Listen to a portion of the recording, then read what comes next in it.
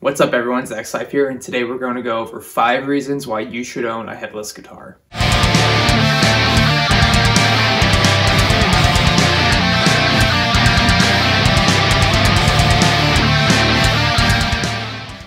Obviously one of the biggest advantages to a headless guitar is the fact that it takes up less space because it's kind of kind of missing the head part.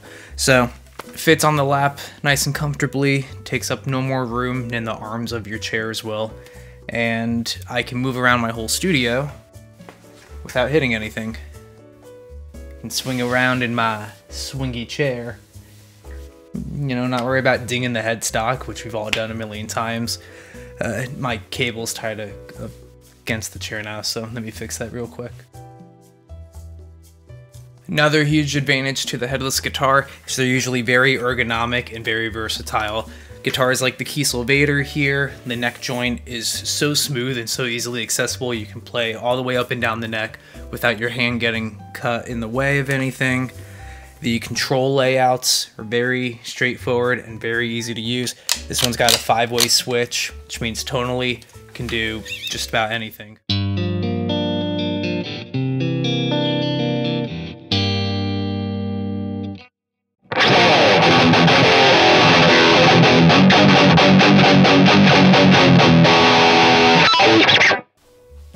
So another big advantage to the headless guitar is the fact that it's easy to travel with. See, it doesn't even come above my head. It's comfortable, lightweight.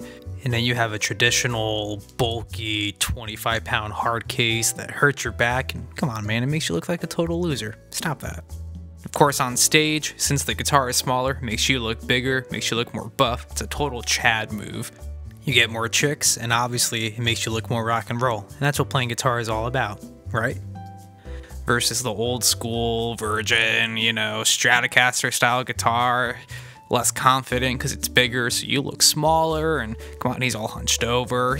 Look at this loser. Look at this loser. He doesn't even know what notes to play. He's getting booed off stage. Totally depressing. Of course, the fifth and most important thing about a headless guitar is that you can play it while you're in the car. I remember that Dr. Seuss book, playing the guitar while in the car, or something to that effect. You don't have to worry about the headstock hitting the windshield or any of the windows. You can play it in the driver's seat, passenger seat, the back seat. You can totally aggravate your parents and piss off your friends, but at least you'll be practicing and looking pretty cool while doing it. At red lights, you can take it out, rock out a little bit. You're going to be hitting a lot of those, but whatever you do, please keep your eyes on the road and guitar responsibly. Do not do this at home, or in the car, or at all. So what did you all think about the video? I'd love to do some more of this kind of content, so let me know in the comments below. If you enjoyed it, be sure to subscribe, ring that bell, helps me let you guys know when I have more videos. Trust me, there's gonna be plenty of those coming in the near future. Till next time, keep on practicing, keep on rocking.